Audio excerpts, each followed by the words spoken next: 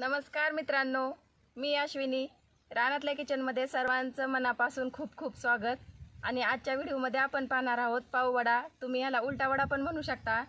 तर पाववडा बनवण्यासाठी या ठिकाणी लागणारे साहित्य हिरवी मिरची तळण्यासाठी मी भरपूर घेतलेली आहे. बारीक चिरलेली कोथिंबीर कढीपत्ता पाव उकडलेले बटाटे आणि बेसन पीठ. वाटण्यासाठी या ठिकाणी मी घेतलेला आहे भरपूर सारा लसूण. एक दोन कांदे मोठे सोलून घेतलेत. एक मोठा आल्याचा तुकडा आणि हिरवी मिरची. तर हे आता आपल्याला पाट्यावर वाटण काढायचं आहे ह्याचं.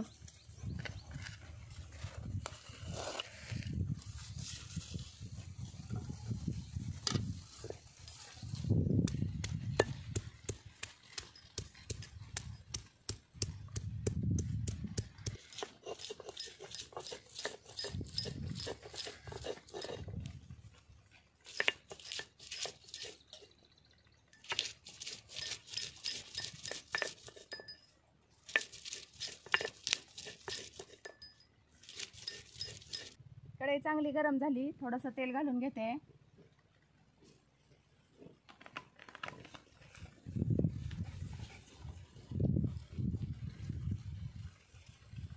जाळ चांगला असल्यामुळं तेल पण छान तापलंय. थोडीशी मोहरी. मोहरी छान तडतडून द्यायची. हे पाट्यावर वाटलेलं वाटण. आणि कढीपत्ता.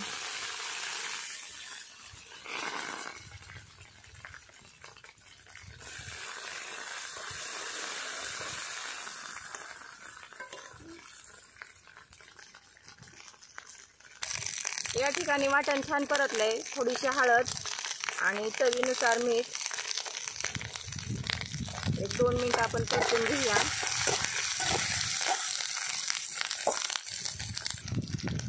आता मस्त वाटण परतलंय. शिजवलेले बटाटे कढईमध्ये असे कुस्करून घ्यायचे त्या तेलामध्ये.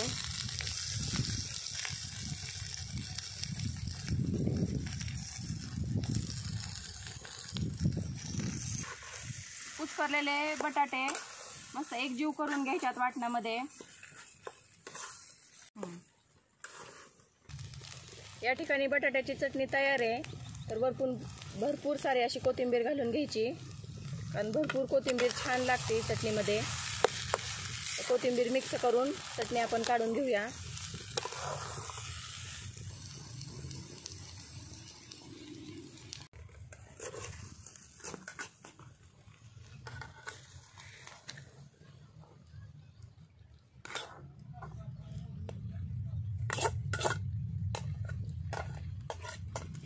याच कढईमध्ये आपल्याला तेल गरम करायला ठेवायचं आहे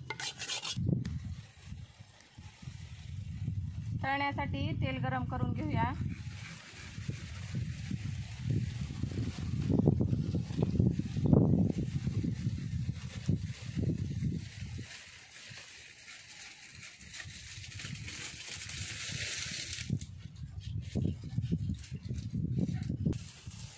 या ठिकाणी चटणी तयार आहे आणि उलटावडा तळण्यासाठी मी तेल पण गरम करायला ठेवलं आहे त्यासाठी लागणारं आपल्याला बेसन पीठ जे आहे वरचं कवर तयार करायला ते आता आपल्याला मिक्स करून घ्यायचं आहे तर त्याच्यामध्ये मी एक दोन चिमट सोडा टाकते. किंचितची हळद थोडंसं लाल तिखट आणि थोडंसं मीठ टाकते. तर हे आपल्याला थोडं थोडं पाणी घालून छान मिक्स करून घ्यायचं आहे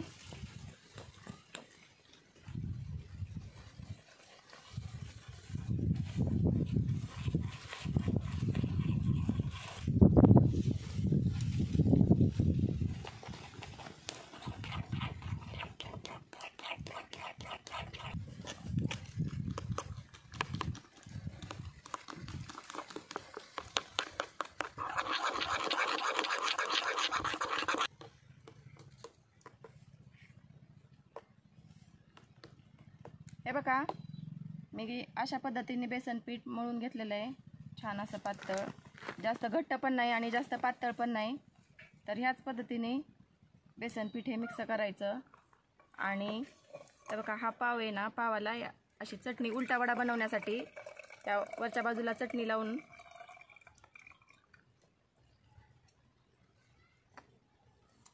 बेसन पिठामध्ये मिक्स करून चटणी लावलेली बाजूना वरच्या बाजूला घेऊन तेलामध्ये ह्या पद्धतीने सोडायचं आहे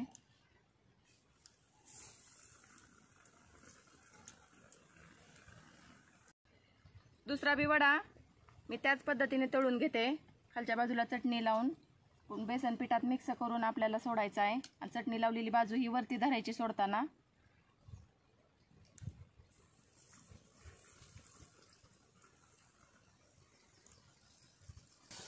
एका चटणी लावलेली बाजू ही वरती धरायची.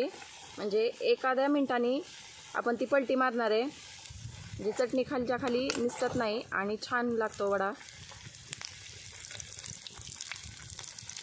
याच पद्धतीने मी सगळे वडे करून घेणार आहे. हे बघा एक चार ते पाच मिनटानंतरनं छान गोल्डन कलर आला आहे आणि मस्त पाव वडे तळले गेलेत.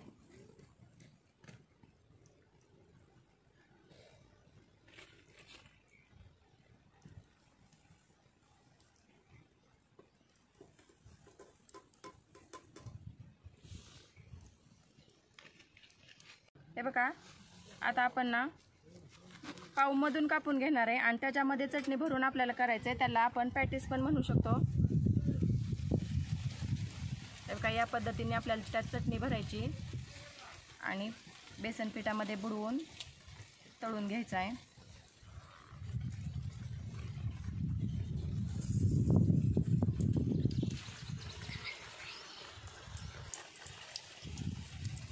या ठिकाणी तुम्ही ब्रेडचा पण वापर करू शकता. ज्यावेळेस ब्रेड ना नाही भेटत त्यावेळेस पावाचा वापर केला जातो.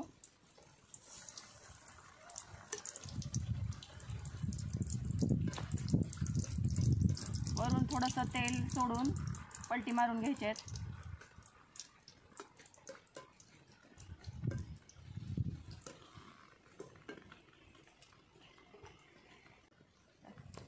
या पद्धतीने मी चार ते पाच मिनटं मंद याच्यावर तळून घेतलेले आहेत. तुम्ही गॅसवर करत असाल तर बारीक गॅसवरच तळून घ्या.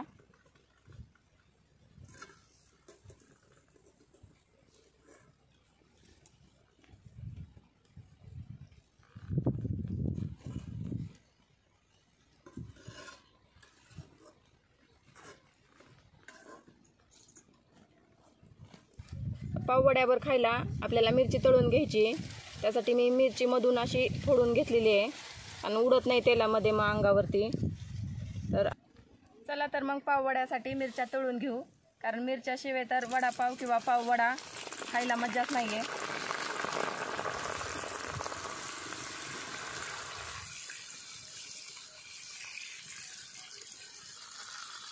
मिरची छान तळून झाली आपली. त्याच्यावर थोडंसं मीठ घालून घ्यायचं आहे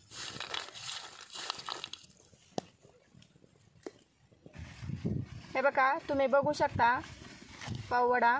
आणि बिलकुल पण तेल नाही धरलेलं पाववड्याने. हे बघा. तर याच पद्धतीने मी सगळे करून घेणार आहे.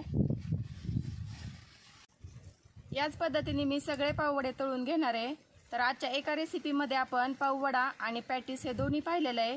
तर कसं वाटलं हे कमेंट करून नक्की सांगा. व्हिडिओ आवडल्यास लाईक करा.